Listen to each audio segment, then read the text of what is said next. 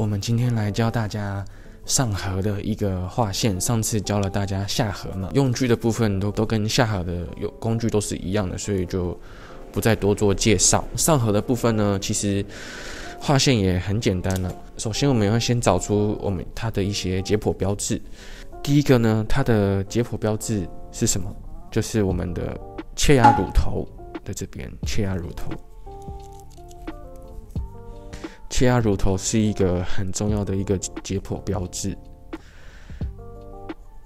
大家看一下，OK。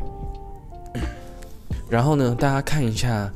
它这个牙槽挤牙，你会发现到说它这边跟这边其实很不对称的原因是什么？因为这边还有残根，大家看到说残根有一个、两个、三个、四个、五个，然后这边还有一个小残根，所以说这边。这边呢，就是它的右边会很凸、很很凸、很丰满，但是左边就是萎缩了比较多。然后它的下颌，它的下颌就是很低平，来看一下，非常非常的低平。其实其实主要的原因也是因为上颌的力量太大，然后造成说下颌的嗯力量的分布不均匀，就也会导致这个原因。在全口义齿上面的力的这个分布其实还是很重要的哈。那我们就回归到画线，那这个部分的画线呢就会比较不一样。首先，我们先可以先画一下我们的前牙，因为我们画线就是跟我们排牙的时候应该要类似嘛。那这个是有牙的，有牙的一个时候，大家看一下它的切牙乳头在这里。那以切牙乳头。的一半，这个切牙，这个这边差不多十个毫米左右，十个毫米。但是因为这个前牙形态，大家肯定是这个比较爆了，所以大部分在全口义齿上面呢，会抓七个毫米，嗯，就大部分都是七到十个毫米，但是这个是七到十个毫米，都是可以接受的范围。那我们就先把这个切牙乳头给平分一下。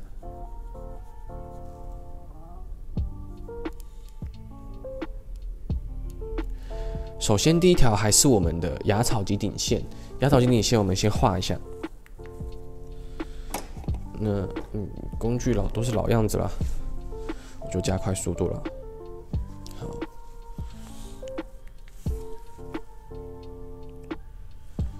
牙槽及顶线，再来，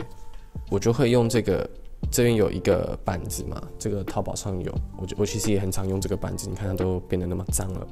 它有七个毫米或是十个毫米，所以才说，亲爱的位置我们可以选择七或者是十都可以，但是依照每个人的嗯需求，就你你自己决定说你要七还是十，然后对应的七。这边和对上它的七，然后我们再画一条线，再画一条线，这样子。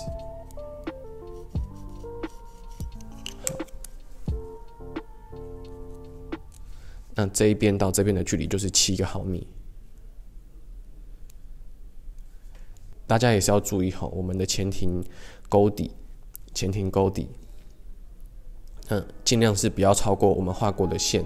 因为我们的边缘就到这里而已，要是你超过太多，一样它都会形成变成一个支点。好，然后再来就是我们的呃上颌结节，上颌结节一样，上颌有几个解剖位置，上颌结节，上颌结节。但是这其实是一个非常不典型的全口义齿，因为它还有残根，所以在很多的判断上面会受到影响。这不是一个很好的一个教材，但是这又是在临床上会很常见的，所以还是给大家看一下。那跟下颌一样，下颌跟上次教过大家的下颌，我们一样是由磨牙后垫的一半一半，然后除以二去看我们的中线。上颌也是一样，用上颌结节的一半。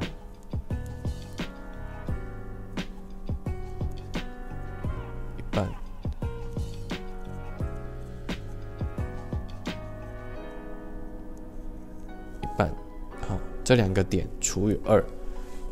我们来看一下这两个点，这两个点，看一下，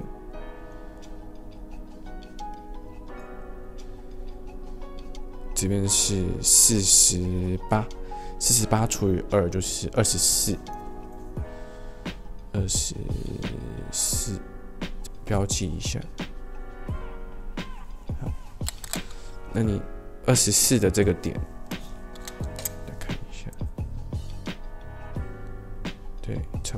二十四的这个点，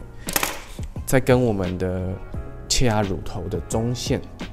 的连线设定为我们的解剖中线，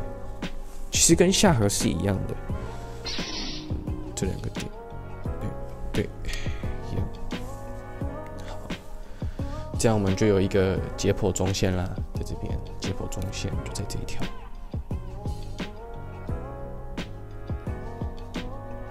好，解剖中线完呢，一样也是以我们的上颌结节的中间、外缘跟内缘画三条线，然后再来就是找出我们的出小臼齿或是犬齿的位置。那犬齿的位置大家都会看说是第一对第一对二皱壁的延伸嘛，但是嗯，老人家的时候呢，他的二皱壁其实都会萎缩的看不见，所以这也不是一个很好的嗯。判断标准，所以我就会直接以差不多是在十七十七毫米左右，上颌大部分都在十七毫米毫米，这也是一个数据的一个参考，就是十七左右，左右延伸的十七会是我们的犬齿的位置，十七，但是这个有残根了，所以这也是不典型的。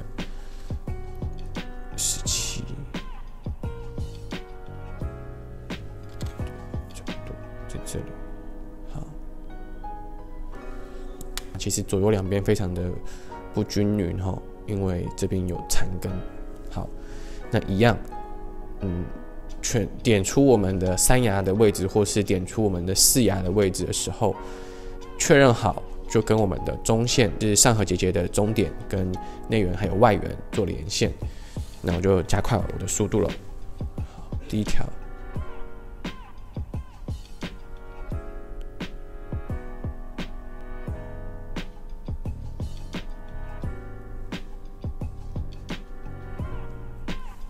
第一条画完了。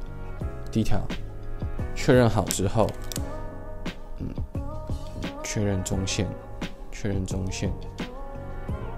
确认完之后，内圆线一条。外圆线一条，那我一样使用喜喜欢用红色跟绿色去做判别内圆线，其实很简单，真的很简单，每一个都这样子画内缘线，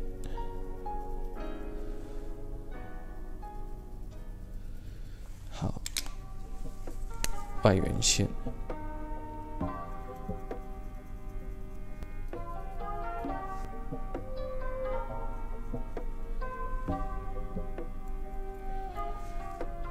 好啦这样子是不是很快？很快就画完上颌的一个一个线了，然后再做给它做一些延伸。上颌就是这样子。那下颌呢？一样子再帮大家复习一下。下颌第一条一样是先有这个下颌，因为太实在太不明显了，所以我就不不让大大家看。但是老样子，我们有以磨牙后垫，好除以二的中线跟我们的舌系带。去做出一个解剖中线，解剖中线完之后呢，取出我们的什么？呃，牙槽基顶尖线跟前庭沟底线。前庭沟底线完呢，我们找出我们的三牙或者四牙的位置，三牙或四牙的位置呢，然后取我们的跟我们的磨牙后垫的中中间第一条线，然后内缘线、外缘线，再来画我们的牙槽基顶线。二十二点五度，大大家一定要记得，那这个非常的低频，这个就不是一个很好的教学，所以这个这个我是直接用目视就知道说，基本上就是在这里了，这边就不要排牙了，这边也是，差不多在这里的位置，基本上就不排牙。好，那我们一样返回到我们的合架上面去做判别，就是大部分就是差不多是这个样子啦。这条红线的话，你也要去做判别。你看这个这边的位置向上延伸，这边向上延伸，对不对？正常来说，我们的上颌结节是没有牙齿的哦。正常来说是没有长牙齿的，大家一定要特别去注意。这这边是没有牙齿，这边基本上都是拔牙的位置，所以大家要去注意说我们排牙用多少的牙齿，不是说一定要把二十八颗全部排上去，有时候二十四颗就很足够了。大家延伸一下。那我我基本上看距离就差不多知道说。啊，这个这颗可能又要再少排一颗了，再加上说它的下颌的条件真的太差了，所以你排越多牙齿，你要是排到这里啊，只是造成它的更加的不稳定，这个基本上就没什么意义。好，来从侧面观来看，这是一个什么样的合位关系？它的黑线都在这里，两条基本上是都可以在同一个直线上面，所以这就是一类。一类合位关系一样写上去，写在这里写一类，所以所有的标准都是按照一类排压，这个是死的，嗯，绝对是死的，嗯，好，那再从后面，从它的后面观来看一下，嗯，上颌的中线呢会比较往内，然后下颌扩大了，哦，所以有机会。有机会可能会需要到排反颌，哦，这个就是两个两个中线的这个呃观察，所以为什么要画三条线？就是说黑线、内缘线、外缘线跟中线在这边。好，那黑线到这里，上颌就是这一块这一块区域嘛，对不对？上颌。能够排牙的位置在哪里？这一块区域，这一块区域。好，那下颌呢？基本上就是在这一块到这一块，这边也是这一块到这一块。以颜色来看，说我就会大概知道说，这个没办法。没有任何的交错点了，所以这边嗯，我后牙肯定会选择说以反颌，反颌来拍，因为牙齿真的空间不足，所以上颌的后牙基本上是以反颌为主。嗯，大家可以看一下